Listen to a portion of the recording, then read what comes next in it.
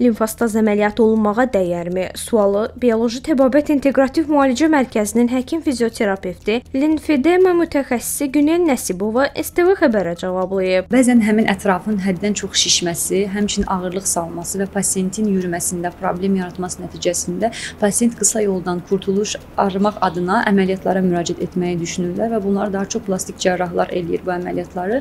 Lakin biz əməliyyatı bir mənalı şəkildə rədd edirik. Əməliyyat sadəcə 1% yaxşılaşmanı gətirib çıxarır ki, 3 ay sonra, 2 ay sonra pasiyent əvvəlki görünümünə təkrardan geri qayıdır. Həmçinin də daha fazla şişkinliklər olur bu səfər. Qəti bir şəkildə əməliyyat önərmirik. Əməliyyat girişi sadəcə 1% sonuç verir.